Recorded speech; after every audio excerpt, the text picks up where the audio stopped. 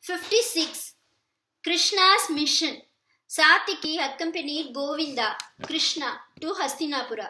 Before setting out on his journey, Krishna had a lone discussion with the Pandavas. Even the mighty Bhima, rather surprisingly, supported a peaceful settlement. Let not the race be destroyed. Peace is very much to be preferred, said he. The poet Vyasa makes Bhima speak thus in order to show that truly great warriors desire peace and that to seek peace is not a sign of fear. But Draupadi could not forget her humiliation. Holding her locks in her hand, she stood before Krishna and in a voice quivering with grief, she said, Madhusudana, look at these tresses of mine and do what honor requires to be done. There can be no peace with honor. Even if Arjuna and Bhima are against war, my father, old though he is, will go to battle supported by my children. Even if my father can keep out my children with Subhadra's son Abhimanyu at their head, will fight the Kauravas. I have, for the sake of Dharmaputra, these 13 years suppressed the burning flame of anger within me. I can restrain myself no longer. And she sobbed, remembering the great outrage. Krishna was moved and said, Weep not, Dhritarashtra's sons will not listen to my words of peace. They are going to fall, and their bodies will be food for wild dogs and jackals. You will live, live to see us victorious, and the insult to you will be fully avenged, and that too soon. Draupadi was satisfied. Madhava, Krishna, halted for the night near the city of Kuchasthala. When news of Krishna's forthcoming visit came, the city was in great excitement. Dhritarashtra issued orders for decorating the city and arrangements for receiving Janardana. Krishna were in full swing.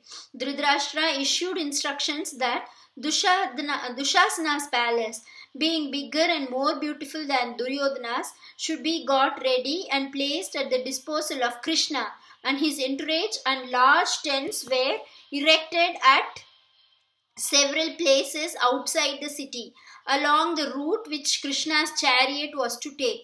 Dhritarashtra consulted Vidura. He said to him, Make arrangements for presenting Govinda with chariots and elephants.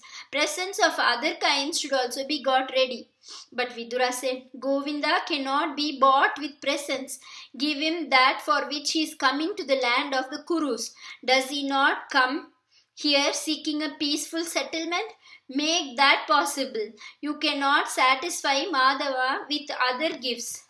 When Govinda reached Hastinapura, the citizens had thronged in such numbers in the decorated streets that his chariot could only progress very slowly. He, won, he went first to Dhritarashtra's palace and then proceeded to Vidura's house. Kunti Devi met him there. Thinking of the sufferings of her sons and overpowered by grief, she wept. Krishna comforted her and taking leave of her, made for Duryodhana's palace. Duryodhana gave Govinda welcome and invited him to dinner, but Krishna said with a smile, Emissaries eat only after their mission is fulfilled. You may give a feast when my work here is completed. Declining Duryodhana's invitation, he returned to Vidura's house where he rested. Vidura and Krishna took counsel together. Vidura told him that Duryodhana's arrogance was based on his confidence that no one could defeat him as long as Bhishma and Drona, who he knew were under a moral obligation not to abandon him, stood by him. Vidura said that it would be a mistake for Govinda even to enter the wicked man's court. All who knew Duryodhana and his brothers apprehended that they would plot through fraud and deceit against Krishna's life. What you say about Duryodhana is true. I have not come here with any hope that I would be able to secure a peaceful settlement, but only in order that the world might not hold me to blame. Have no fear for my life, said Krishna. The next morning, Duryodhana and Shakuni came to Krishna and informed him that Dhritarashtra was waiting for him. Govinda went to the court along with Vidura. As Vasudeva came into the court, that great assemblage of kings stood up, saluting the elders with folded hands and with a word or a smile at others. For the others, Krishna took his seat. The introductions over, Govinda rose from his seat and turning to Dhritarashtra, explained the object of his visit. He made clear what the Pandavas wanted. Dhritarashtra, do not bring ruin to your people. You regard as bad what is good for you, and as good what is bad. It's your duty to restrain your sons. The Pandavas are prepared for war, but they desire peace. They wish to live in happiness under you. Treat them also as your sons and devise an honorable solution, and the world will acclaim you, said Krishna. Dhritarashtra said, My friends know that I am not to blame. I desire precisely what Madhava has stated, but I am powerless. My wicked sons do not listen to me. Krishna, I entreat you to advise Duryodhana. Krishna turned to Duryodhana and said, You are the descendant of a noble line. Pursue the path of Dharma. Your present thoughts are unworthy and befit only men of low birth. On account of you, this famous line is in danger of being destroyed. If you listen to reason and justice, the Pandavas themselves will install Dhritarashtra as king and you as the heir apparent. Make peace with them by giving them half the kingdom. Bhishma and Drona also pressed Duryodhana to listen to Govinda, but Duryodhana's heart could not be softened. I pity Dhritarashtra and Gandhari, whom Duryodhana is dooming to bereavement and desolation by his misdeeds, said Vidura. Dhritarashtra once again said to his son, If you do not listen to Govinda's advice, our race will perish.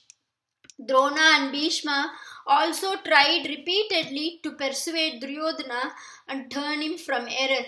Duryodhana was furious with everyone for pressing him in this matter to agree to a peaceful solution. He rose and said, Madhusudana, you wrong me out of love for the Pandavas. The others here also blame me, but I do not think I am one whit to blame in this matter. The Pandavas, of their own volition, staked their kingdom at play and being defeated, justly forfeited it. How am I responsible for it? Losing the game, they went to the forest in on as in honor bound. For what fault of mine do they now seek battle and wish to slay us? I will not yield to threats. When I was young, the elders did us grievous wrong by giving the Pandavas, I do not know why, a part of the kingdom to which they had not a shadow of a right. I acquiesced then, but they lost it at play. I refused to return it to them. I am utterly blameless. I will not give the Pandavas an inch of land, not even a needle point of it. When Duryodhana said that he had not committed wrong, Govinda laughed and said, The play was fraudulently arranged by you in conspiracy with Shakuni, and you afterwards insulted Draupadi in an assembly of princes, and yet you have the impudence to say that you have committed no wrong, and reminded him of the other iniquities he had perpetrated against the Pandavas. Dushasana, seeing that Bhishma and others were accepting Krishna's indictment of Duryodhana, said, Brother, it seems that these people have a plot to bind you with ropes and hand you over to the Pandavas. Let us get away from here.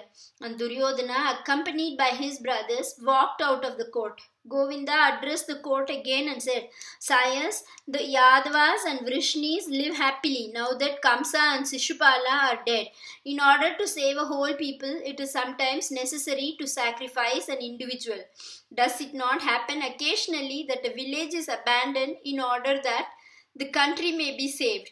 I am afraid you will have to sacrifice Duryodhana if you want to save your race. That is the only way.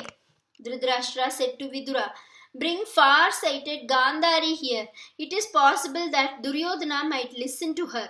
Gandhari was sent for, and when she came to the court, Duryodhana was sent for. Duryodhana, his eyes red with anger, returned, and Gandhari tried by all the means in her power to bring him round to reason. Duryodhana said no and again walked out of the hall. He and his friends had plotted to seize Krishna. News of this reached the court. Govinda, who had anticipated all this, laughed and disclosed his divinity. The blind Dhritarashtra, by the grace of Krishna, temporarily regained his sight and was able to see Krishna in his Vishwarupa presence in every form.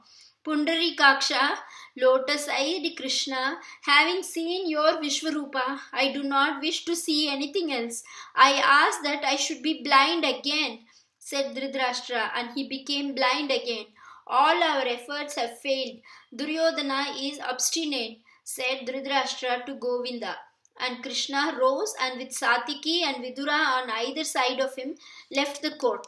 He went straight to Kunti. He told her what had happened and she asked him to convey her blessings to her sons. The time has come, said she, for that for which a Kshatriya woman brings forth sons. May you protect my sons. A Kshatriya mother brings forth children to be sacrificed in war. Purushottama, um, Krishna as super, supreme being, got into his chariot and sped towards Upaplavya. War became a certainty.